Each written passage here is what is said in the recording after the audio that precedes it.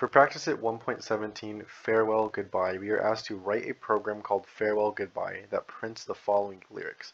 We need to use static methods to show structure and eliminate redundancy in our solution. First, we need to write our class, and our class is going to be a public class that is called Farewell Goodbye and we will have our starting brace and our closing brace. In here we need a main method to run this, so we'll have a public static void main with string args having two braces like this. And then in here are two brackets in our main method. Then we'll have our closing braces and now we can start writing our code. So in our main method we um, can start looking at this. And we see that we have farewell, goodbye, and that prints multiple times. In fact, um, these, first, these first four lines, or actually these first two lines, are, are printed multiple times. So what we can do is write a method for this. Public void, and then we can call it first. And in here, it's generally good practice to actually name the method in relation to what it's doing. So in here we'll have system.out.println and we can copy this so that we don't have to print it out every single time.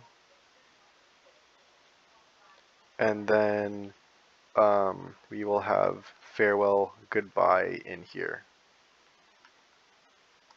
So we can paste this in here like this and there is a new line between farewell and goodbye, so we can just do slash n, and that'll put these on separate lines. And then we can close this method, and we're calling it three times. So we'll have first here, and then we are calling first again later, and then we call first one more time later. That's taken care of. This line right here is actually outputted multiple times so what we can do is make this a method, and we will call it, we'll have it um, public. These should be static methods, so public static void, and then the name, which we'll call like this, we'll have it written like this, parentheses, and then inside of here we'll have a sysout, and then the string in here, just like this, with its comma and then we can close this method. So we can call this method in our main program and have it under first like this and then have it under first again here and then under this first as well.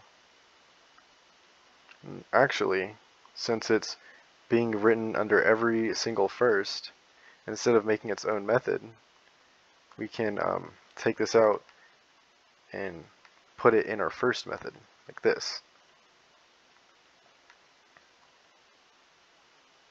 We can combine it with our other system.out, but we'll leave it like that for now. And we can get rid of this method. So we kind of just collapse this method into there. Our next line is good night for the first one.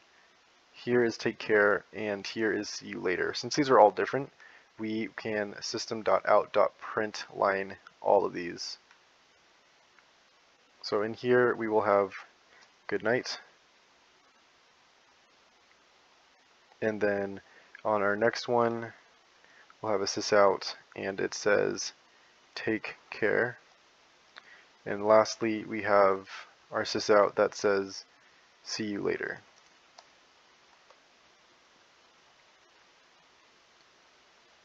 Next line, it says it's time to go and I'll be out of sight. Basically, all of these are just going to be totally different. So what we can do is actually just write them out in our main method. So first, right here, we can we can write this all in one line. So we have good night, then we have a new line. We have it's time to go slash n for a new line, and I'll be out of sight. and we can write it like this. And that is the first part done. For the second part, we have this on a new line after take care. So we'll have slash n and then a v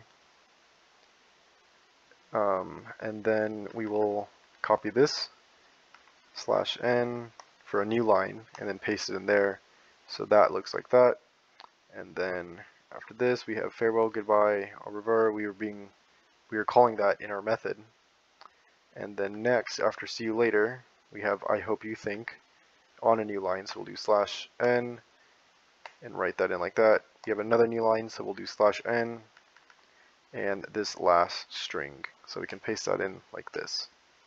And this is the code for this output. So if we submit it, um, and we can't find the symbol because I didn't spell it correctly, if we actually just copy and paste this in here, we can actually submit it and there is a slight difference on the output and that is there is a spacing issue between each of these. So I have a space in my program for legibility but I didn't actually put a space in the output. So instead of writing a space every single time we can use a method. We'll have a public static void and we'll call it space. And in here we'll just have a system dot out dot print ln that's empty and so every time we call it we will just have a space like this so we'll call this method here and then we will call it here. And we should submit it like that. And after we do that it passes the test